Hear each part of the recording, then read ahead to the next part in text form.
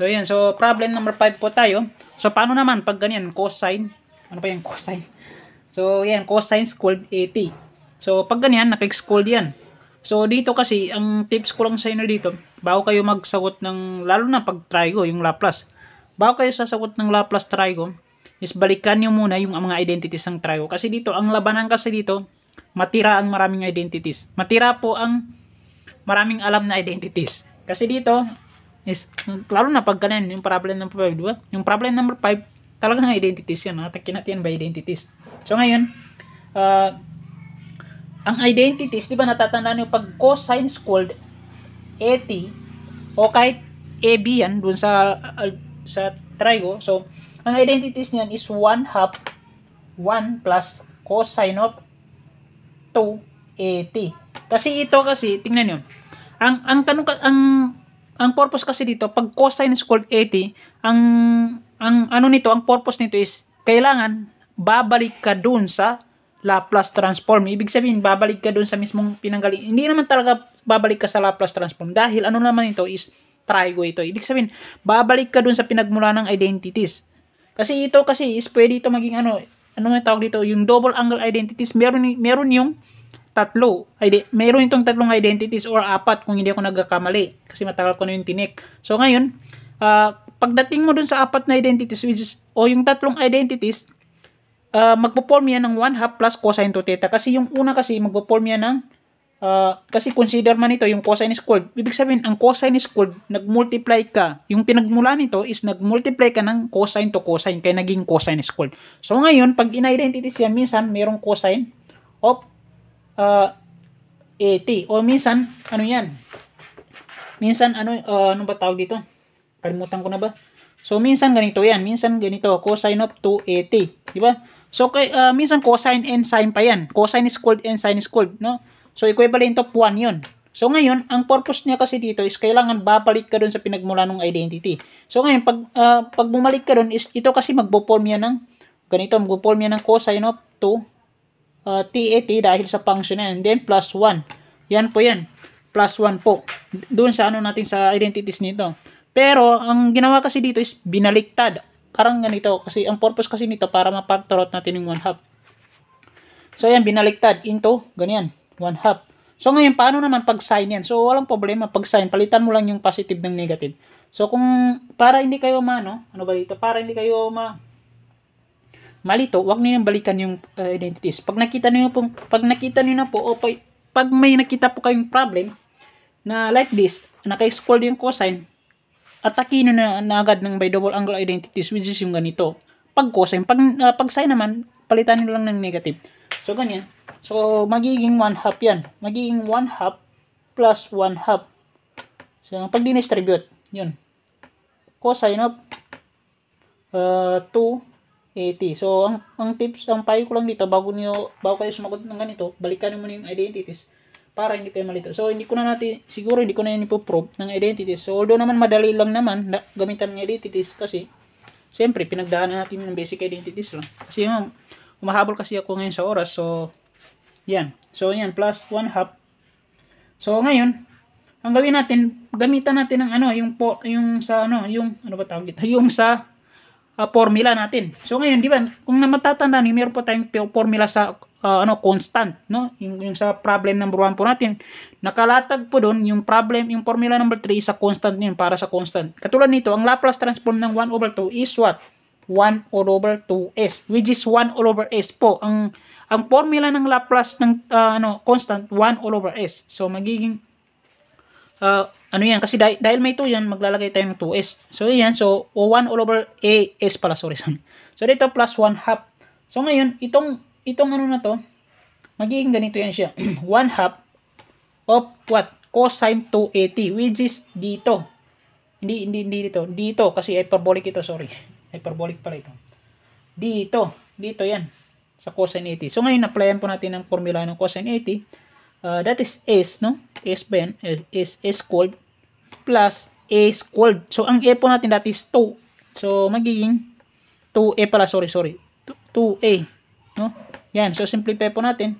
That is 1 over 2S, no?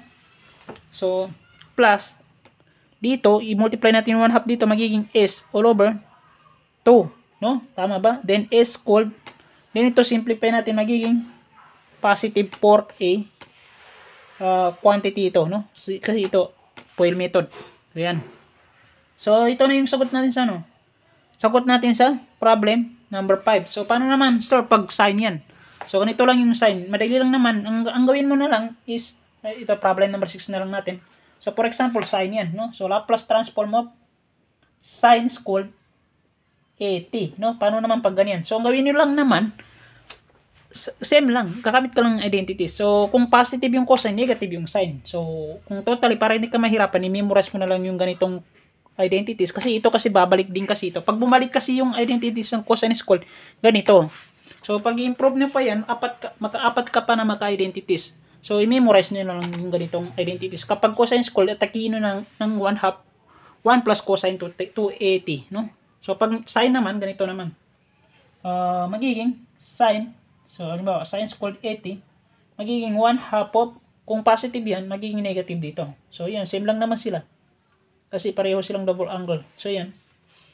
So, magiging, uh, Laplace transform ito, that is 1 half minus 1 half sine of 280. Sorry, sorry, 280 yan. So, yan, apply the, ano, apply, apply na natin ang formula ng Laplace. That is, dito na lang, that is 1 over 2s, no? Minus 1 all over 2, multiply by Laplace transform of, ano ba yun sa, ano natin, sa, sa pag-sign daw, yung A. So, dito, A naman, A. So, that is A. So, magiging 2A yan, no? So, 2A. That is 2A. Uh, dito kasi yan. Tingnan nyo kasi sa ang pinagkaiba kasi ng ano dito. Ang pinagkaiba po ng uh, ano natin dito, malalagay po natin yung A kasi siyempre A po kasi yan. Unlike dito, eh A pala yun. Dito dito, unlike dito S mismo. Hindi na po natin kailangan yung ilagay yung what? Yung ano natin, yung ano, yung real o yung napa-imaginary tuloy ako. yung coefficient mismo. Dito ilalagay po natin dahil sa formula niya na letter A. So that is all over what? All over po sa 2 multiply by magkasya ba dito? So, nakamagkasya na. So, yan, S squared. Eh, sorry, sorry. I-write po natin. Palitin, mas, palitin natin masyado. That is 2S, no? 2S yan.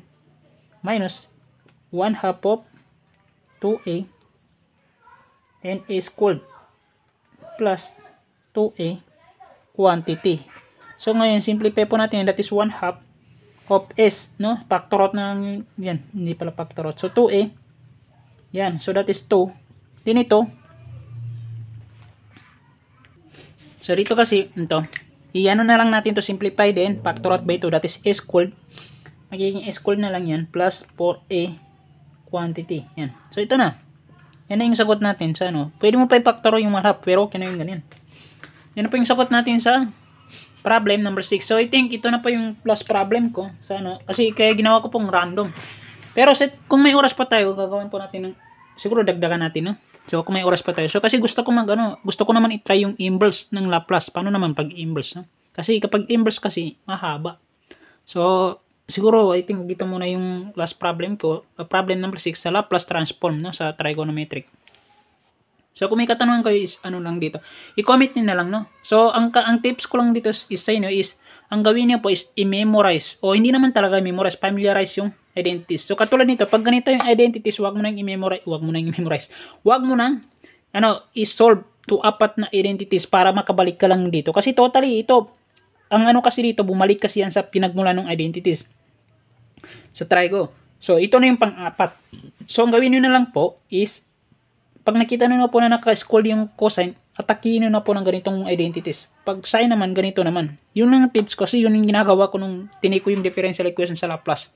So, giano ko na lang yung uh, nila, ni familiarize ko lang yung mga identities which is yung ganito applicable. Which is gagamit ka pa sana ng apat na identities pero hindi na, no? Which is ito na lang.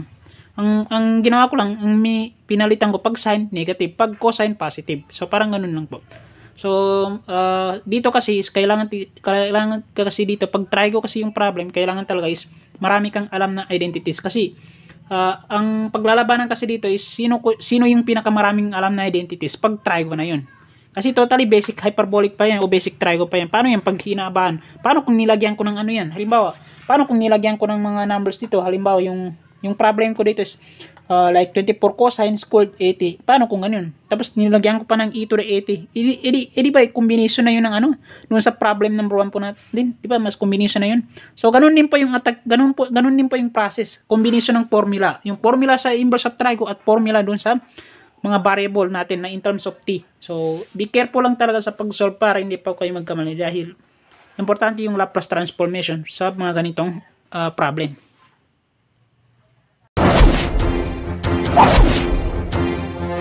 What?